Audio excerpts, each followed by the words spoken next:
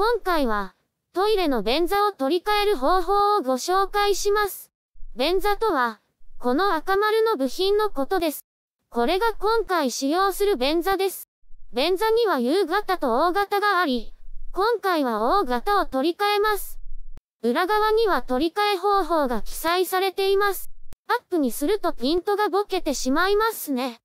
申し訳ありません。ここに記載された取り替え方法を参考にすると、スムーズに作業が行えます。これが箱の中身です。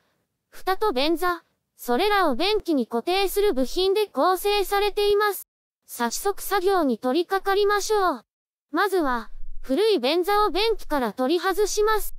赤丸で示した古い便座を取り外します。便器の裏側を覗き込むと、便座を固定しているナットが確認できます。そのナットをペンチやプライヤーで取り外します。この動画では水栓用のプライヤーでナットを取り外します。ある程度ナットを外したら、指でナットを取り外します。少し早送りにしています。ボルトが長いので、取り外すのも大変です。ナットを外したら、ナットと便器の間にあったゴムパッキンを取り外します。アップにするとピントがボケてしまいますね。申し訳ありません。続いて、反対側のナットも取り外します。プライヤーで、ある程度ナットを緩めます。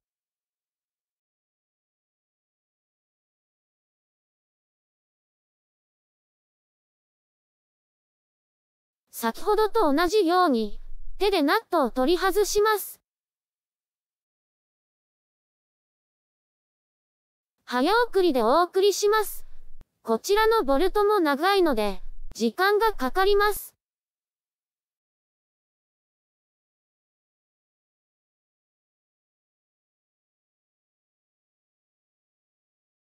ナットを外したら、ナットと便器の間にあったゴムパッキンを取り外します。ナットとゴムパッキンを外したら、古い便座を取り外すことができます。便座を取り外すと、便器はこんな感じになります。続いて、新しい便座を取り付けます。まず、便座を固定する部品から、ナットとワッシャー、パッキンを取り外します。少し早送りにしています。ボルトが長いので、取り外すのも大変です。ボルトのついた部品を便器に取り付けます。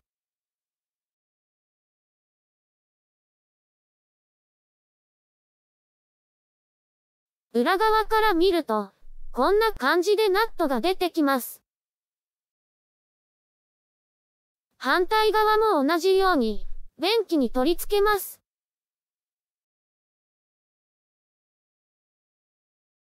先ほどと同じように、裏側から見ると、こんな感じです。まず、ボルトにパッキンを取り付けます。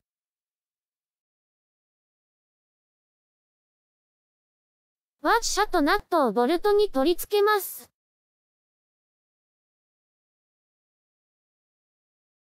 ナットを手で回して取り付けます。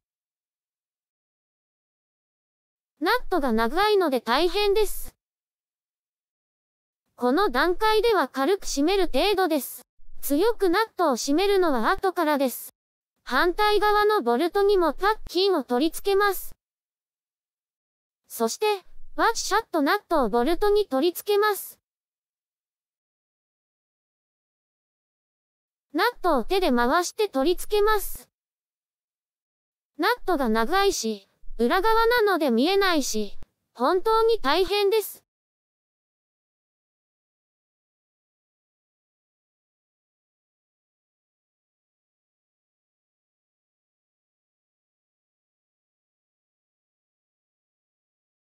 この段階では軽く締める程度です。強くナットを締めるのは後からになります。先ほど便器に取り付けた部品に便座を取り付けます。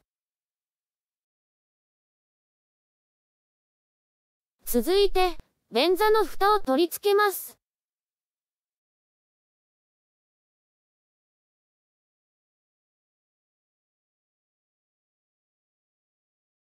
上から見ると、こんな感じになります。続いて、便器に取り付けた部品と、便座、及び蓋を接続します。画面に映った軸部品を取り付けます。この部品が取り付けにくいので根気よく行います。力任せに押し込むと、壊れる可能性があるので注意してください。きちんと取り付きましたね。反対側も同じように取り付けます。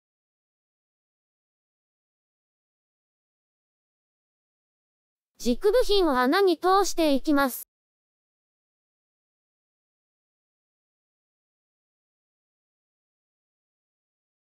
こちらは割とスムーズに取り付けることができました。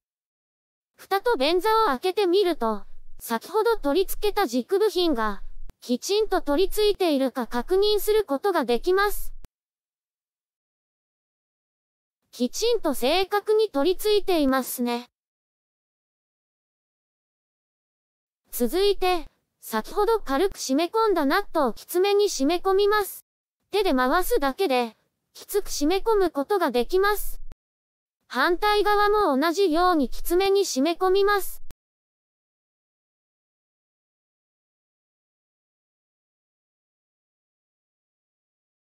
ナットの締め込みが終わったら、便座を揺らして緩みがないか確認します。開閉させてみて、確認を行います。これで問題がなければ完了です。エアコンの簡単な修理や、水道蛇口の水漏れ補修、トイレやキッチンの詰まりや匂い対策、壁紙の破れ補修など、住宅設備を自分で直す動画をお届けしています。チャンネル登録をお願いします。